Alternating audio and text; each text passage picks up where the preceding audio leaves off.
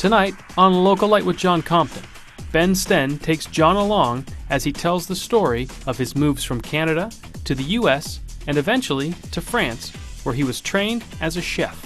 Ben gave up the New York chef lifestyle to move to Hood River, where he now finds himself as part owner and executive chef at Celilo Restaurant and Bar. That's all next on Localite. Hey, Ben, welcome to the show. Thank you. Yeah, let's talk about how you got into this because your sort of path ending up in the gorge was really expansive. I mean, started out back east, ended up overseas in Europe. Um, tell me about that, that, that whole transition and how you ultimately ended up here. Well, uh, I would say I would, I would have to start out by saying that I didn't set out to cook. I didn't set out for a career in food. I, it's something that I enjoyed with my family as a kid. We would prepare meals together. My dad loves to bake bread. I was thinking about that. Uh, pizza was a special thing that uh, we would do as a group activity. But I kind of fell into it because I was on an academic path, and I, as you were saying, I went to um, the regular school plan, um, New York University in in New York City, and I thought I was going to law school at that point in time. Oh, really? Yes. Uh, but I wanted to take a break before, uh, you know, after four years of undergrad and then, you know, straight into more schooling. And an opportunity came to me, and it was, um, it was really about uh, French, uh, a little bit of a background speaking French, doing classes in French in school, and a school opportunity in, at a culinary school in France. So I, I, jumped on it because it seemed like, well, this, this, is, this is a one time situation. I'll go for it and see how it plays out. And um, that was as an, as an intern, an unpaid intern at a, um, a culinary school in the Burgundy region of France. La Varenne is the name of the school. Oh, all right.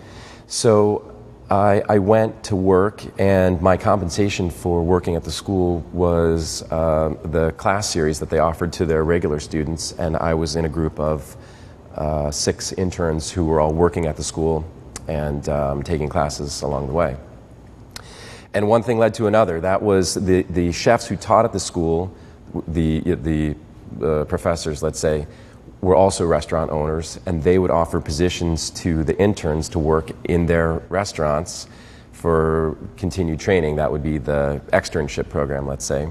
And so I did that, and I ended up living in France for two years a wow. year at the school and a year um, working in various restaurants. Is that pretty unique that a school would have restaurateurs working there that then would take interns into into their restaurants, or does that happen here too? Uh, I I think it is unique. I think that there are. It's it's likely that chefs might teach elective classes at a school and come from a restaurant, and maybe they would show off their expertise. I think it was a little less so the case that um, this school was designed al- almost entirely around elective classes in that way. And I think that the chefs would come in, do run a, uh, let's say, a two month program, and then another chef would come on board. Okay. But it created a great opportunity for all of the interns because we just we made these great uh, connections to the chefs, and, th- and we were free labor, of course, so they were yeah, so they liked you, and they had already trained us, or they had already I think, uh, sort of streamlined what they would want from their, you know, a, student or somebody coming into their kitchen.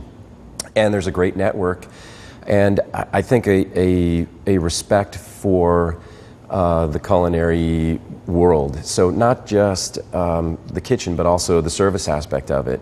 Restaurants in European countries um, uh, have professions that are lifelong professions. It's not a job that you take along the way to something else. Mm-hmm. It's the job that you're searching out. And I really appreciated that, and I felt like I got a lot out of it. So.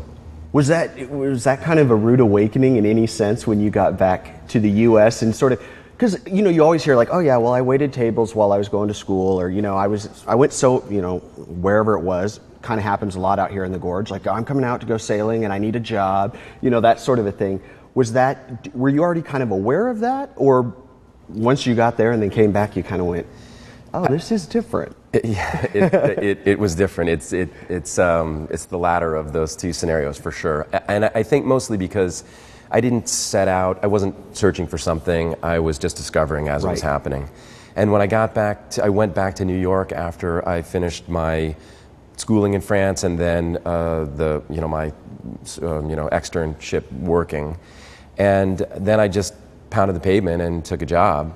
And I had a, I had a decent enough resume just from the little bit of experience, and it was unique, as you said, to be Yeah. working in France. And so I started work uh, right away, and then it was a world of people who were working hard and hard hours, some of whom had some background in culinary training like me, and other people who just took a, a job um, because they needed a job and learned along the way. And I would say that they were equally skilled. Both uh, backgrounds brought something special to the, to the work experience. Yeah. Now, where was that at? Was that still? In New York City. So this was in New York City. So I worked in New York City for two years when I came back from France, and that's really the the stepping off point for coming out to the Gorge because it, that was a hard life, and that Yeah. is- that's uh, just uh, ten to twelve hour days, uh, six days a week, um, sometimes a lot longer than that, and. Um, not, not a very healthy uh, life outside of the restaurant. Right. Uh, it's just there's not enough free time. It's you know you do laundry and then you just go right back again. And I was tired a lot, and I didn't have energy for to do much else because of you know I sleep, work late, sleep in, get up, go back to work. Go back to work. And so at the time, a buddy of mine, uh, he, he's actually a, an, old, an old friend. We, we grew up down the street from each other and went different directions after school. He went to school in, at uh, UBC uh, in Vancouver, Canada. And he was coming down here. So he was in Hood River in the summers teaching windsurfing and working at the marina at the time where they have rental gear. And, you know, he was, he was living the dream. And I'd call him on the phone and say, I'm in New York City working 80 hours a week. And he'd say, I'm teaching windsurfing to uh, chicks in bikinis and having a great time.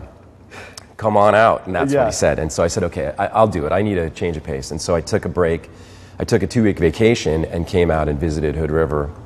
And uh, we drove down the coast and windsurfed here and hung out. First time ever out here? first time ever. Flew into portland picked me up in a you know rickety old pickup truck and gave me you know his oregon experience and it was brilliant. It was really an eye-opener and it was the antithesis of the world that i was living in. And so i said okay i will come back the next summer and spend a summer and just um, you know give it a go. And so I did that, packed up with a friend of mine. We drove across country, landed in Hood River, and I passed around my resume, which at this point was culinary school in France, a bunch of hoity toity restaurants in France, some hoity toity places in New York, and then here I am. And this was 95. And Hood River was still a small town, and there were a couple of places, and they were all very casual, and that was the restaurant scene. And so I got hired on at Sixth Street Bistro. It had been open two years at that time, and they they called me Frenchie. Frenchie. Yep. and uh, I worked the grill station, and uh, you know we had served great burgers and salads, and it was a casual job, and it was a it was a great summer. And So you were still just doing this. You were you hadn't moved yet. You were no, just here for the summer. I had an apartment back in Yeah. New York City that I had, you know, a friend filled in for my spot, and I left most of my things there, and I had a duffel bag, and you know that was it. yeah.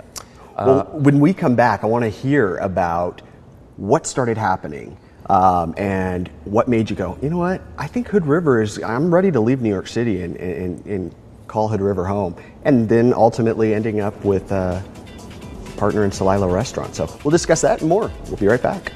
Coming up, New York City is just packed with people and a, and a lot of choices. I think that's what's special about New York is just there's so many people doing their thing, so many things offered. You really have the world available to you. And Hood River had, uh, uh, you know, one pizza place, and I think uh, the Skylight Theater was there at the time, so you could see a movie. Uh huh. And you know, that was about it.